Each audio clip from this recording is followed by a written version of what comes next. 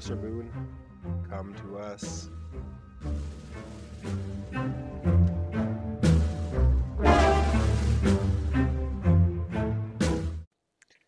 Hello again, and welcome back to Kerbal Space Program Hardcore with Tabarnouche Interplanetary. We've been building a relay network at 250 million meters around Kerbin so that we have a constant connection back to K KSC from anywhere in low to mid Kerbin orbit. We've got two up, we're going to launch two more. However, we're having a bit of a cash flow problem. We've got only 32,000 Kerbucks left, and each launch that we do is costing us 15. So we could launch our two satellites, but then we'd be dead broke. However, looking at the missions we have active, we can get 52,000 Kerbucks for just flying by the moon. And then we've also got this mystery goo contract we got to deal with as well. I think that this ship that we've built for launching the relay satellites, Viarja 1, is totally capable of flying by the moon. So let's find out. Here it is, Viarja uh, 5,270 meters per second of delta V, 28 out of 30 parts. Okay, we're going to make a couple of changes here because this is not going to be a permanent relay satellite.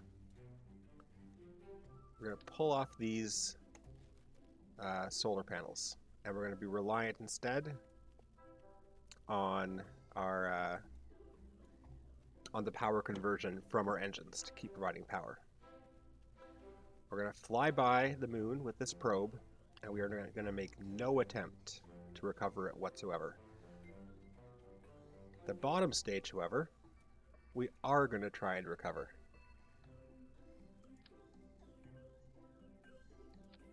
And on it, we're going to put a mystery goo.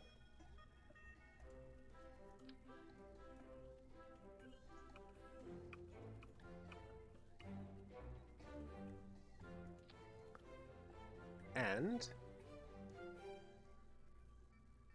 parachute.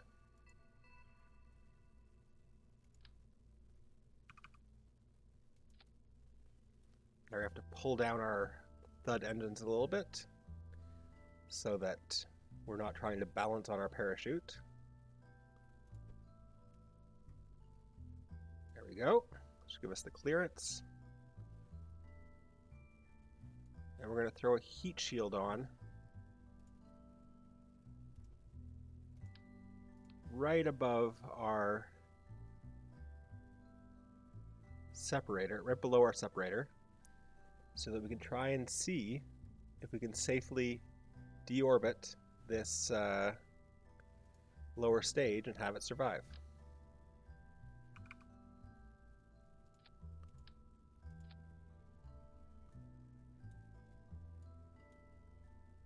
We're going to have to rebuild our fairings slightly.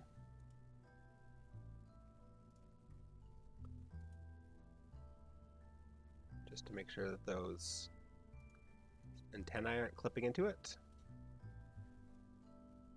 Still got 5167 delta V. Let's see if we can fly by the moon. So for a lunar flyby, all we're really talking about, it actually should be easier than getting to that 2.5 million perfectly circular orbit we've been doing with our relay satellites. That's about halfway to the moon, but for a flyby, we don't even have to circularize. We're just going to send it on a purely ballistic orbit, and if it passes into the moon's sphere of influence, then that's going to be good enough to trigger our mission, get us our reward, and we'll be able to afford a few more rockets. We've launched those two relay satellites up, and they're just ahead of KSC in their orbit around the around Kerbin right now, which means we should be able to fly on basically any eastward trajectory we want with the ship and maintain communications the whole time. So we're going to try a more aggressive gravity turn than we have been before. All right, all systems are green. Launching in three, two, one. Liftoff.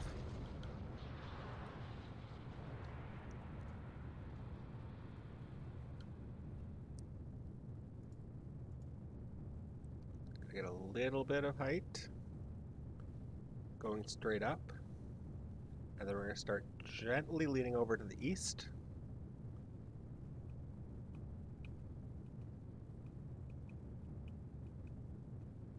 I get down to about 10 degrees by 5,000, I would say. Yeah, a little bit more. Now at this point, we're going to start holding prograde,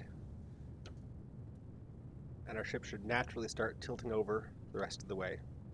We've got so much thrust that we're still probably going to end up on a relatively steep ascent path, but this is still going to be a lot more efficient than what we've been doing before.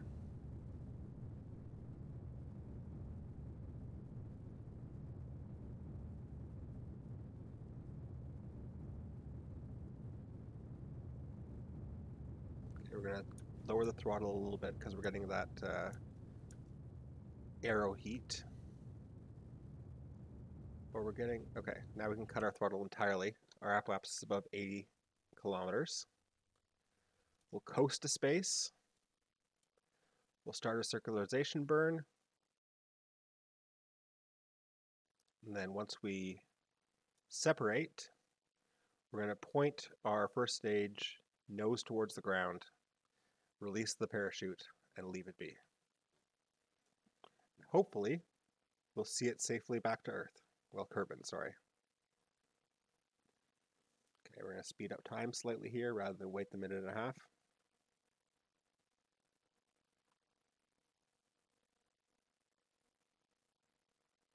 Okay, we're in space. We're going to observe our mystery goo.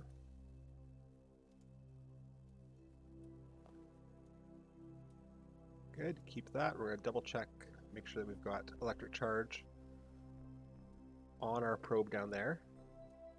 Good, it's going to get refilled as soon as we fire our rockets again.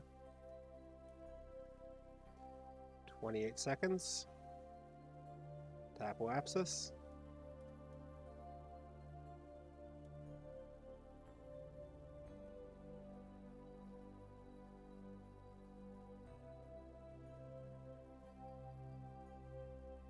Ten, nine, eight, seven. That's close enough. Let's burn.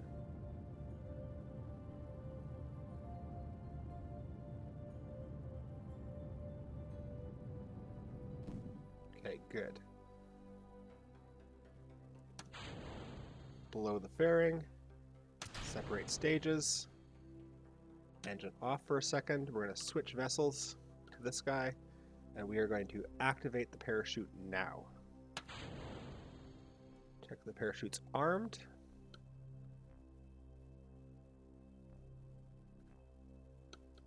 Deploy mode when safe.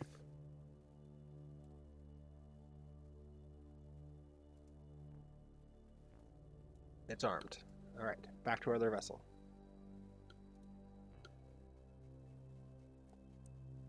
We're going to have to tilt ourselves back up a little bit and burn. Now we've already started descending pretty fast. I hope that we haven't screwed ourselves here. We're tipping down out of space.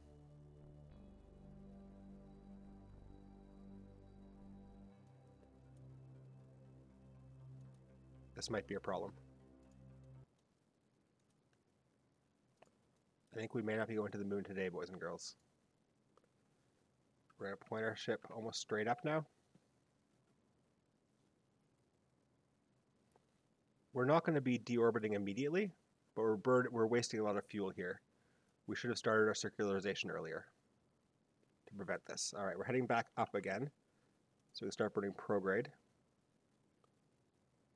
We haven't wasted too much fuel. Could be worse. Let's take a look at our orbit. Okay.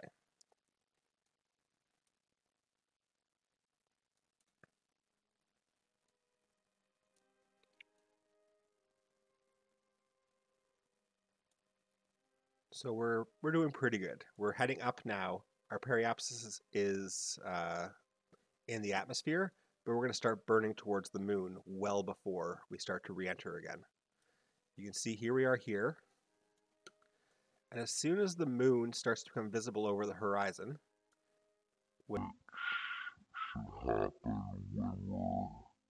about a quarter of the way around the dark side of Kerbin, that's going to be when we're going to want to start burning. It's going to extend our apoapsis out away from us, and it's going to intersect the lunar orbit about 20 degrees ahead of where it is right now. I think we might still have enough fuel to do it. 1300 delta V? Yeah, that should be plenty. Okay, so in the meantime, what we're going to do is we're going to go back to the tracking station and we're going to take control of our first stage and see if we can get it safely back to Kerbin.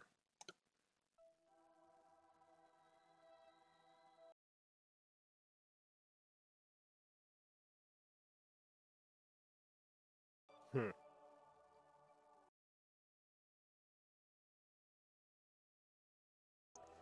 Okay, well, it looks like our first stage has already been deleted. It looks like we left it on too aggressively low of a trajectory.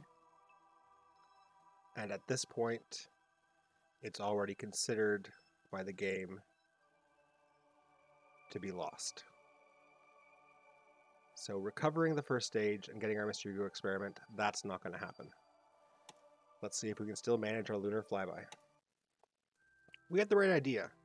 We were just cutting things too close, having to switch back and forth between those between those vessels when we were that close to uh, when we were on, on that suborbital trajectory. If we'd been able to get that first stage into orbit, then we would have been able to deorbit it sort of at our leisure. Now where are we? We're here. Okay, we're going to watch the horizon. We're going to go target prograde. And we're just going to speed up a bit and wait for the moon to appear. Now this isn't a general rule that you can orbit a body and wait for the moon to appear on the horizon and burn towards it. It's just a convenient uh, coincidence of the orbit and circumference of uh, Kerbin and the moon. All right, full burn. And we're going to watch our trajectory. We've upgraded our tracking station once, so once it gets out to around the uh, lunar diameter, we'll be able to see when and if we have an intercept. Stop. There we go. That's a flyby.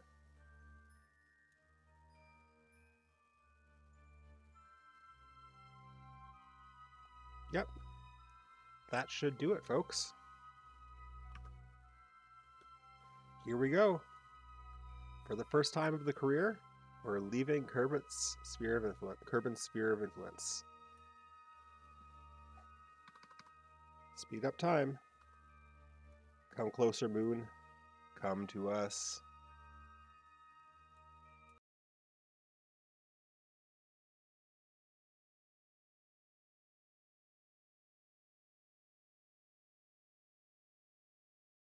take a screenshot for the thumbnail.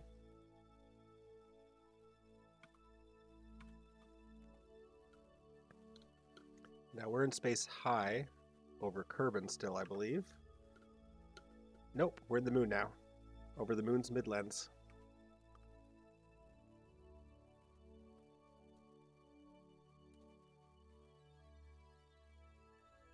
But we have no probe control. That's why we can't do a science experiment right now.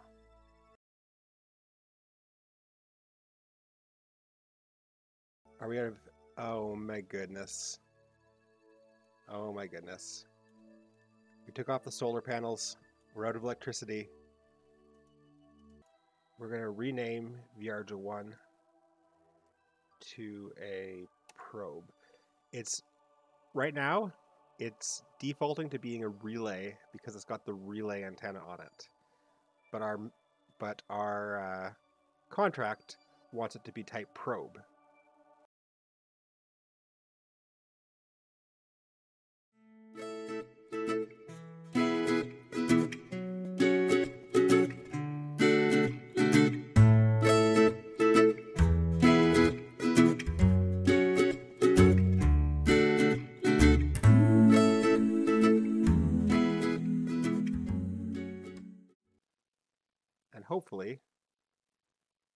We should see one stage of our contract complete. So this flight's not a total loss. Vessel type probe, capacity done, fly by the moon, complete. Now we've got no electricity left because we didn't because we took off the solar panels. So there's nothing we can do with this. It's dead to us. It's just going to float freely as space junk until later, much later, we catch up with it and deorbit it. But if we go back to the Space Center, we're rolling in Kerbucks. Ah, oh, that is a nice feeling. That mission was a total shit show. But in this hardcore playthrough, where it's all about turning failure into partial success, we're happy with this. Guys, we flew by the moon. See you next time.